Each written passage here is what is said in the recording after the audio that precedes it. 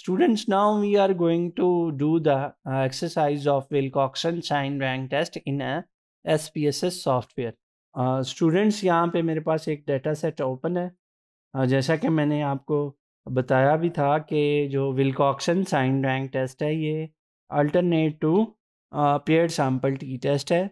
और ये तब लगाया जाता है जब आपका डेटा नॉर्मली डिस्ट्रीब्यूटेड ना हो। जब डेटा नॉर्मली डिस्ट्रीब्यूटेड नहीं होता तो हम नॉन पैरामेट्रिक टेस्ट लगाते हैं। इसीलिए हम एनालाइज से नॉन पैरामेट्रिक टेस्ट में आए हैं और यहाँ से हम लेगेसी डायलॉग में टू रिलेटेड सैंपल को क्लिक करेंगे। और यहाँ पर हम इसको रीसेट करके स्कोर टू का स्कोर थ्री के साथ, यानी इन स्कोर टू और स्कोर थ्री के दरमियान जो ट्रीटमेंट है उसका इफ़ेक्ट देखने के लिए हम दोनों का कंपैरिजन करते हैं कि इसमें कोई स्टेटिस्टिकली सिग्निफिकेंट मीन डिफरेंस है कि नहीं है।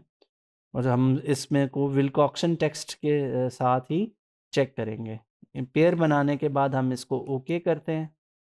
तो हमें ये पता चलता है यहाँ पे कि जो स्कोर थ्री से जो छोटे रैंक्स हैं स्कोर थ्री से जो छोटे हैं स्कोर टू के रैंक्स वो ट्वेल्व है। और स्कोर थ्री से जो स्कोर थ्री के जो बड़े रैंक्स हैं स्कोर टू से वो ट्वेंटी थ्री हैं, जिनको हम पॉजिटिव रैंक्स कहते हैं। यानी, जो स्कोर थ्री और स्कोर टू के इक्वल स्कोर जो हैं, वो यहाँ पे कोई नहीं है टाइल्स कोई नहीं है। तो ओवरऑल स्कोर थ्री के ऐसे केसेस ज़्यादा हैं, जो कि स्कोर टू से बड़े हैं।